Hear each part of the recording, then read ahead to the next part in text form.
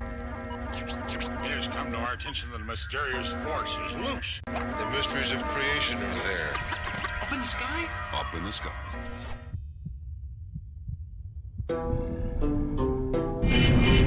It's not an easy skill to learn. I've been practicing it for many years.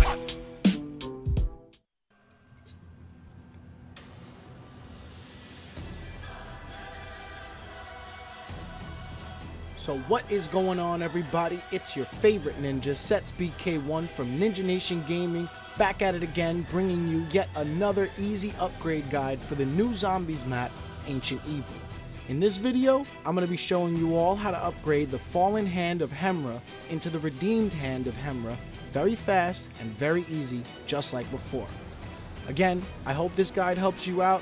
You know the drill. Drop a like, subscribe, turn on notifications for good luck. Okay, so let's get into the video. Just like every other gauntlet upgrade, first thing you want to do is open up the amphitheater and activate the Sentinel artifact. Once you have that done, you want to start looking for dormant hands around the map, laying in clay pots. These are like glowing, sort of like how they were on Dead of the Night.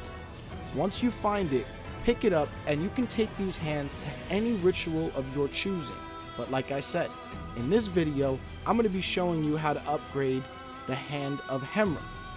So, once you have the dormant hand, you want to go over to the shrine located by the Monument of Craterus and activate the ritual.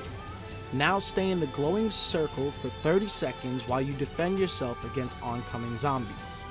Once the ritual is done, you can now pick up the Fallen Hand of Hemera and start upgrading it right away. First, you want to take the hand over by the upper road and look over to the outer part of the map. You'll see a circular reflector you can shoot to rotate. Rotate it to a position where it will reflect your shot into the white crystal nearby. Once you do this correctly, the light should be captured in this bowl nearby.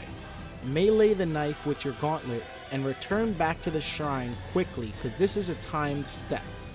Once you get there, melee one of the urns by the statue to transfer it. If you mess up, don't worry, just go back, shoot the reflector again, and try again. Once you have completed the first one correctly, now it's time to head over to the Gymnasium Bathhouse, and there you will find another reflector hanging on the Temple of the Apollo, and another crystal nearby. Repeat the same process and return the light back to the urn in front of the shrine. Then head down to the Temple Terrace, and there you will repeat the same process for a third time. Line up the reflector, shoot the crystal, and return the light back to the shrine. Once you've placed the third orb of light down, a portal will open up and you can enter it. It will take you outside of the map to use the Redeemed Hand of Hemera and get used to its special abilities.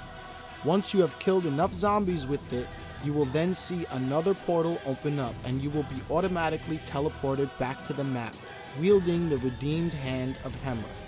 And now, just like the other gauntlets, you can have fun killing with its special abilities. And oh boy, do I love this wonder weapon.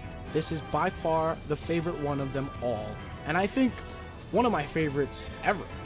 The special ability is so, so cool. But anyway, enough nerding out.